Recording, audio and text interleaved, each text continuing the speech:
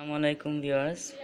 Bird community of Bangladesh থেকে সবাইকে স্বাগতম জানিয়ে আজকে ভিডিওটি শুরু করছি।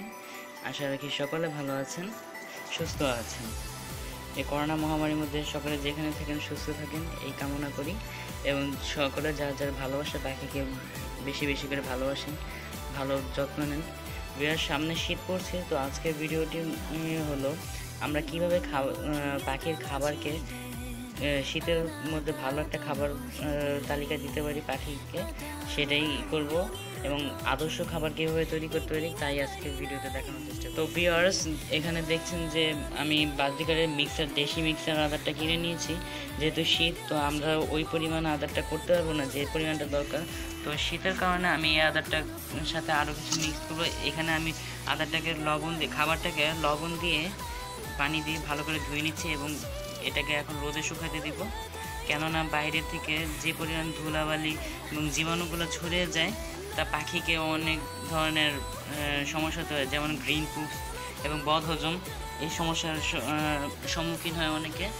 তো এই সমস্যা থেকে দূর করার জন্য এই খাবারটাকে লবণ দিয়ে পানি দিয়ে ভালো করে কষলে ধুয়ে নেওয়া এবং পরে রোদে শুকিয়ে দেওয়া। তো আমি এটাকে ভালো করে কষলে ধুয়ে নিচ্ছি। এরপরে দেখতে থাকুন। আর পাখির খাবারগুলোকে রোদে শুকাইতে দিব। এই দেখুন কীভাবে রোদে শুকাতে দিচ্ছি। খুব কড়া রোদ।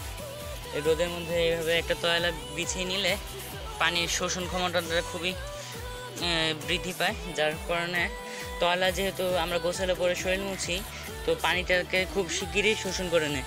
ঠিক তেমনই এই খাবারের পানিটাকে তয়লা আহ, খুব তাড়াতাড়ি শোষণ করে নেবে এবং এভাবে খাবারগুলো দিতে পারেন আপনারা।